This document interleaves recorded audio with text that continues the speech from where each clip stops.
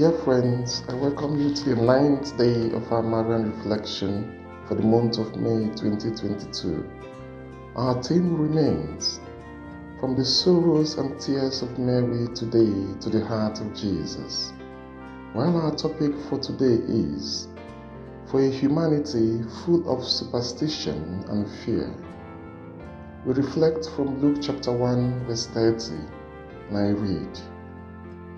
And the angel said to her, Do not be afraid, Mary, for you have found favor with God.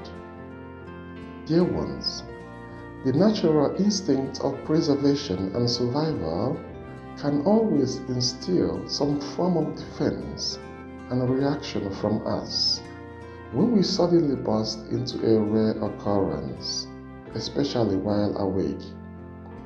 One can easily understand how Mary must have felt, dazzled with the light from the angel and met with such a strange greeting. But with the explanation from the angel, all fear was gone. Mary embraced not just the visitation, but also the message accompanying it. All fear was gone. She was ready emboldened, and had no iota of doubt for the words spoken to her from God through his messenger. Child of God, our Blessed Mother is our comfort and refuge.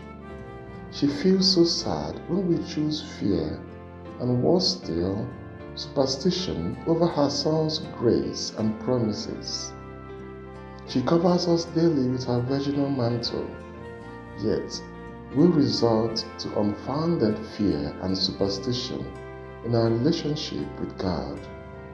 Her grief flows from the way her children, at slightest unrest, abandons the ship even with Christ at the rudder. She is so worried we compromise at trials and tribulations of life. How earnestly Mary wants us to abandon ourselves, fears, worries, anxieties into the hands of God, as she did. Mary knows that perfect love drives out all fear, and she was that masterpiece of the perfect love for God. She willingly assists us who need that perfect and close relationship with Christ, her Son. And she does this in a most profitable manner for us.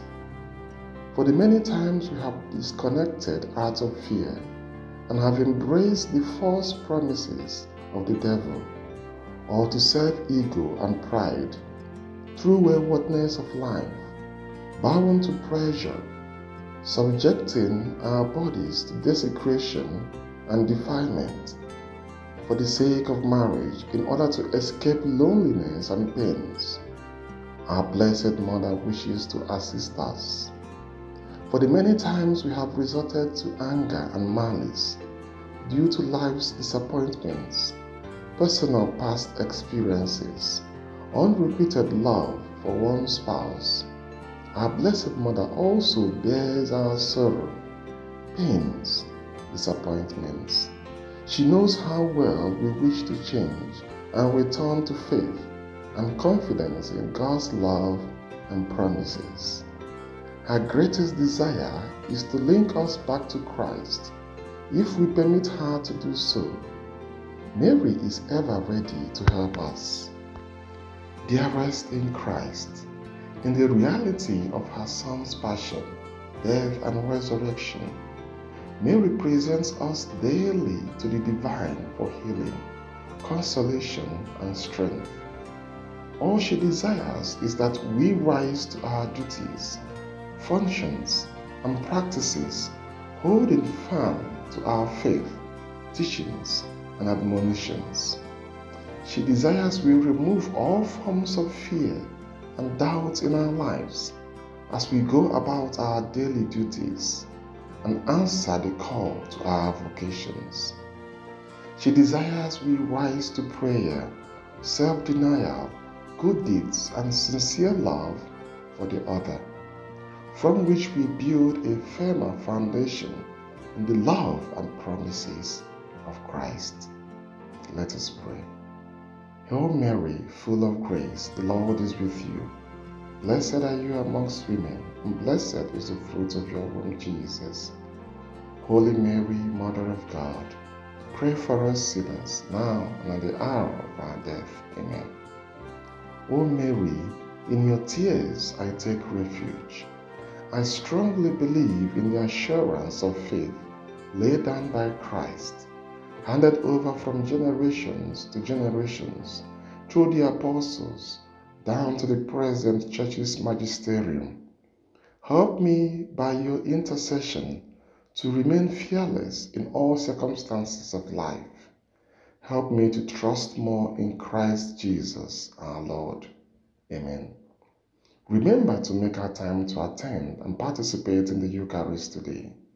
Remember to say at least five decades of the Rosary today. And may Almighty God bless you, Father, Son, and the Holy Spirit. Amen.